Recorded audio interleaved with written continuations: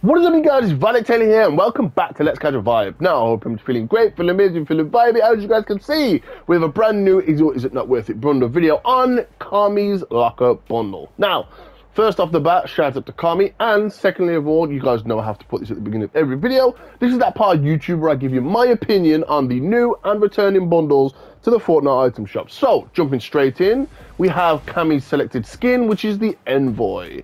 There is no such thing as second best first introduced in Chapter 2, Season 2. You guys already know that's my favourite season of all time.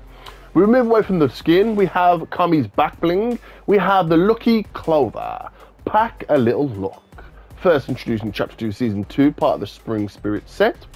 Moving us on to Kami's selected locker um, harvesting tool, we have the Sea Scorpion, barbed for action. Let's see the swing animation. Nice.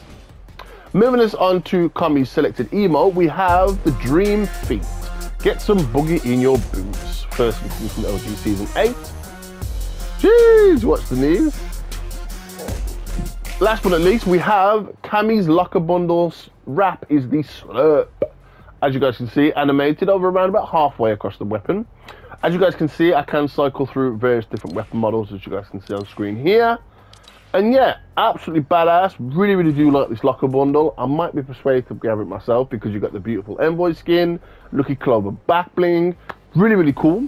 But anyway, hope you guys enjoyed this video. If you are new to the channel, sorry, if uh, uh, I skipped ahead. If you guys did like this video, don't forget to smash the like button. If you didn't enjoy the video, let me know in the comments down below why you didn't like the video. Also, let me know is your favorite item from this bundle. And do you guys know who Kami is? And are you going to support him through Fortnite? So, if you guys are new to the channel, now we can carry on. If you guys are new to the channel, don't forget to subscribe to the channel if you're new and Subscribe to the channel if you're new and join Let's Catch a Vibe. Also, if you are new, please don't forget to push on the bell notifications to get notified as soon as I upload. But more importantly, don't forget to stay vibey, and I'll catch you guys next time.